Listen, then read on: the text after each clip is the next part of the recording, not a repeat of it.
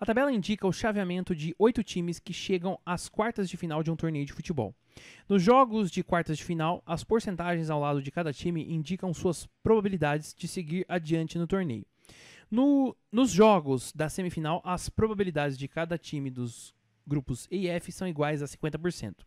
Ele pergunta qual que é a probabilidade do time 1 disputar a final desse torneio contra o 5 ou contra o 7. Vamos começar calculando a probabilidade do time 1. O time 1 é um ponte preta, que é o melhor de todos, então por isso que é o 1, tá bom? Olha só. O time 1, a ponte, para chegar nas semifinais, tem 60% de chance, ou seja, 0,6.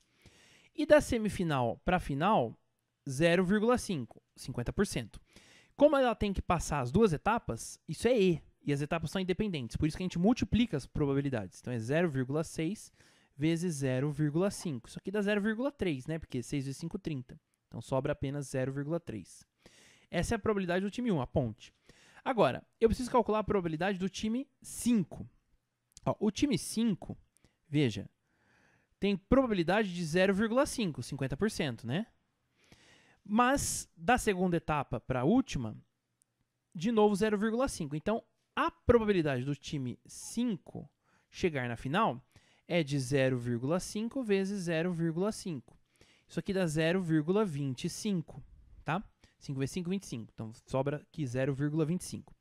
Por fim, o time 7, olha só, o time 7, para chegar na semifinal, tem 45%, ou seja, 0,45. E depois, de novo, 0,5, porque todo mundo que está na semifinal tem 0,5.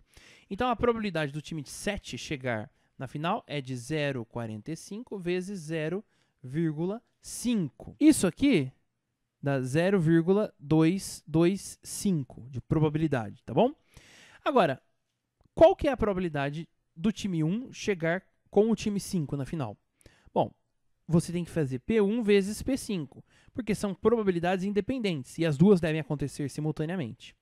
E a probabilidade do P1 é, jogar com o P7 é P1 vezes P7.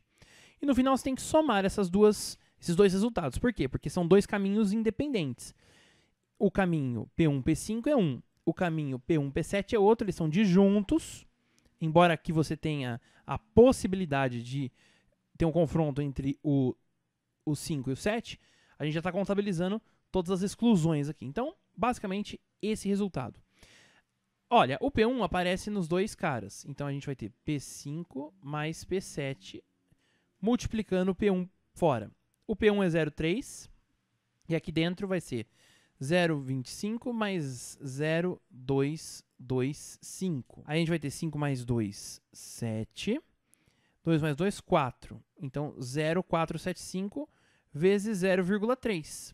Fazendo essa continha, você vai obter exatamente 0,1425. Isso aqui é a mesma coisa que 14 e 25%. Por isso que a probabilidade está na alternativa B da questão.